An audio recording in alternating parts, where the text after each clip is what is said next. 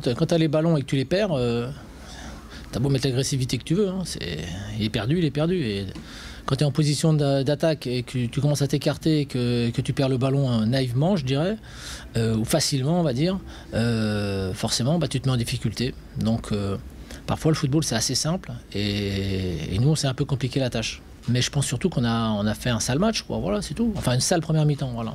Finalement, l'arrivée, le fait de perdre me semble pas non plus totalement illogique. Voilà, il y avait une bonne équipe en face qui, était, qui a été rigoureuse, qui a fait ce qu'il fallait d'entrée, et nous, on n'a pas fait ce qu'il fallait d'entrée. Voilà. C'est, une déception, mais bon, voilà, il faut, faut pas s'arrêter à ça. Il faut, on va enchaîner rapidement, hein, mardi, samedi, jeudi, euh, dimanche. euh, voilà, faut qu'on, faut qu'on se mette dans le, qu'on se remette dans le rythme. On savait que cette équipe de Strasbourg entamait les matchs très forts.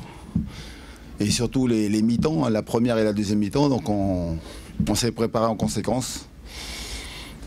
Euh, pour euh, bien sûr euh, d'abord être solide défensivement.